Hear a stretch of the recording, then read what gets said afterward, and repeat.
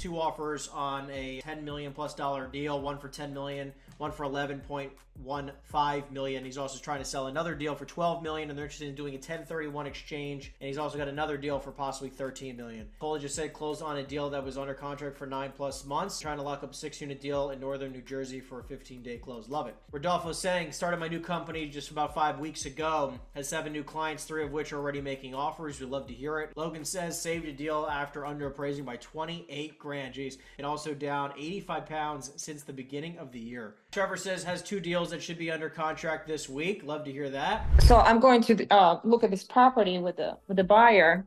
The listing agent said that the tenants pay cash and have been paying cash, like their rent in cash, like for for a very long time. How would that affect the underwriting. As long as they have proof, bank receipts, mm-hmm. right, bank statements that they can show that the property has been earning income and that it's been every month the rent has been paid. What kind of building is it, by the way? Mixed use. It's actually one tenant. He's got a restaurant on the first floor and two apartments on on the second floor, but it's all one tenant and it's all been cash. Yeah, I mean, as long he's got a show record of it. You always try to tell people, I'm like, listen, like this isn't this isn't 19 42 or you know 1956 where you could get away with paying things in cash and people just believe you right? Mm-hmm. a bank's not going to lend money on you just collecting cash and never depositing it in the bank. I would highly recommend that if they really want to sell it for top dollar they need to start start if they're not showing it they need to start showing it.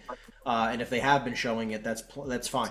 They, they can pay okay. cash. I don't care how they pay. They could sell it. They could pay cash. They could do checks. I don't my tenants do all of the above right? But I got to mm-hmm. still show the, you know, I got to still show the um, the banks what I'm earning. Right. So the um, lender would pretty much just need proof that rent was received in some some sort of way. Okay. All right. Got it. Thank you. Question regarding NDA agreements.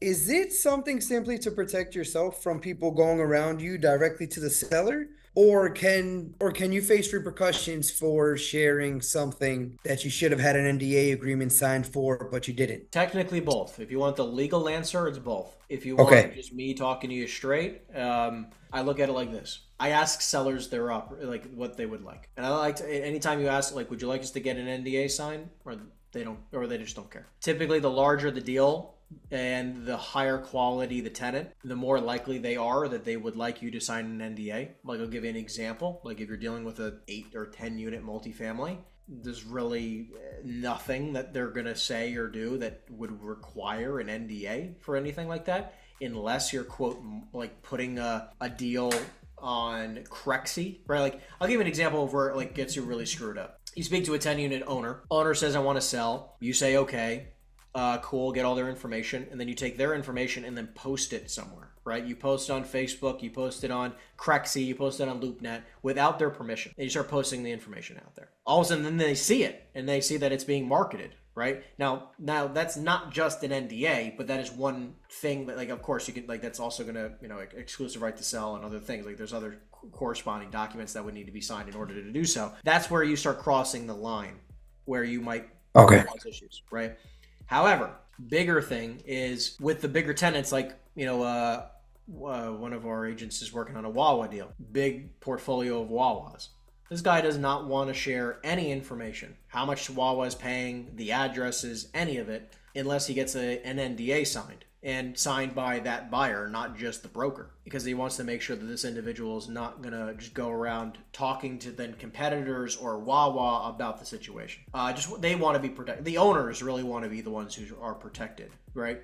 Because if comes back around to Wawa and then all of a sudden this random guy is like, hey, this guy's you know sharing your rent your rent rates all, all over the place, it just is not a good look. So I'd say with really small deals, you know the the smaller the deals like the sub $2 million deals it's rare that you're really going to ever need an nda much bigger deals again with national tenants you know bigger time tenants bigger bigger investment deals they're probably going to want an nda and i would imagine it'd be smart to sign an nda thanks because i'm working on a i mean i'm not working but i, I have access to a, a, 394 unit in uh in springfield massachusetts. I had emailed it over i'm not sure if you saw it yet i'd love some feedback on but but again, I'm that's the only reason I ask. I'm not sure if it's something you know. I, I wasn't sure how important it was or or what the what the backlash can be. Yeah, it, it depends on the seller.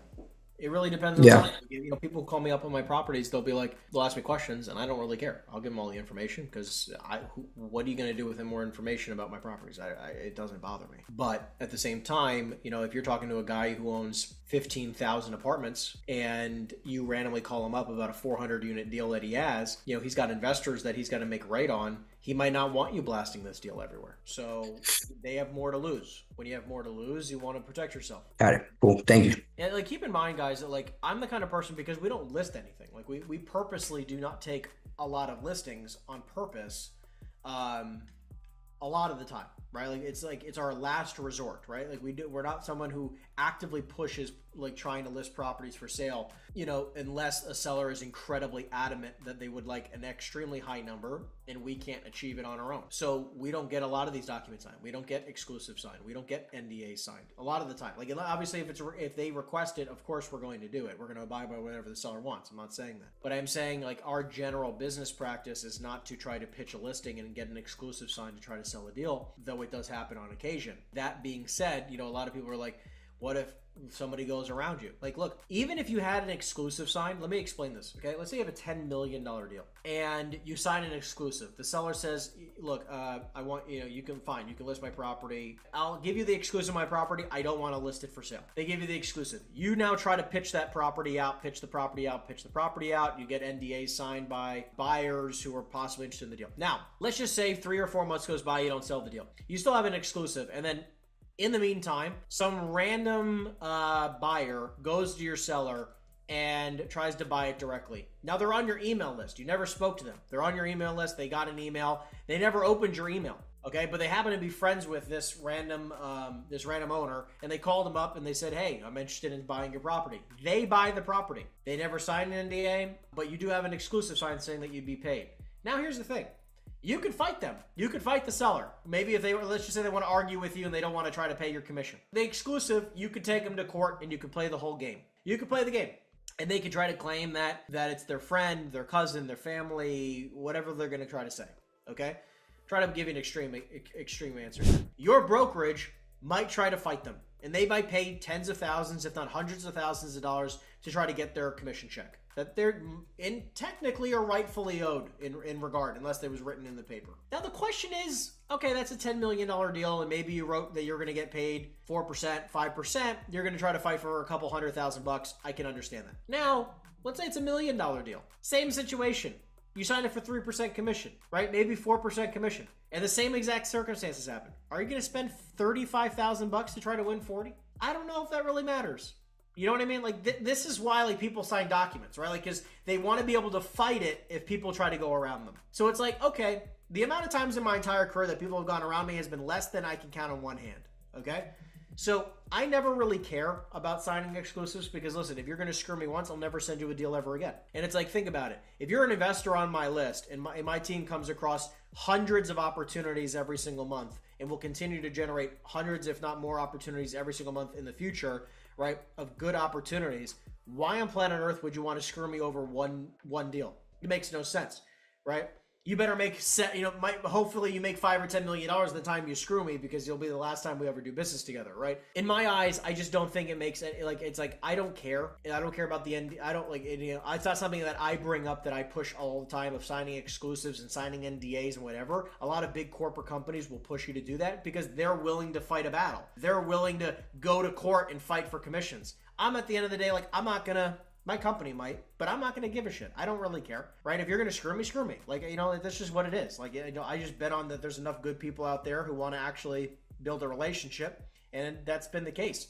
Like I said, I've been screwed a few times, but maybe you know two or three times in my entire career that someone's actually gone around me. So I don't think it's a huge because think about the, this is the last thing I'm gonna say on this. You have a seller who goes, "I don't want to sign anything." Both okay, and this is the broker's responses. You have corporate company number one who goes, corporate company goes, I'm not going to work on your property unless you sign this exclusive listing. And they push for an exclusive. They push for all the documents to be signed, and the sellers very against it. And then what happens is you burn a bridge, or you now spend weeks trying to get them to sign something before you even start the deal. Option number two, which is what I do, you speak to the seller. They say they don't want to sign anything. I go, okay, no problem. Is it okay if I put it in front of a few of my best buyers and try to see if I can get you a good offer? They say yes. I go, okay, great. Before I even go out to those buyers, actually, I'll present an offer right away of X price. I'll get a counter from that person. And then within 24 to 48 hours later, I'll have another three or four or five offers from more buyers that I'll present right away, right? And I'll present all those offers within a 48 hour to 96 hour, you know, what is it? Yeah, 96 hour period of time, call it a few days, right? Within a week. All of a sudden, within a week, I've gotten three or four or five offers on the same property and we're moving things along and hopefully getting things, you know, uh, agreed upon towards a contract, and then per, you know back to corporate company A, right? They haven't even signed an exclusive yet, and it might be a few weeks until they sign an exclusive, and then they have to get all the documents, and then they want to go take pictures, and they want to do the all the corporate bullshit. I'm like, I just saved you weeks in the transaction, and I'm already moving forward on the deal. So that's why we we do this process the way we do it, and you know we don't want to waste time because time kills all the deals.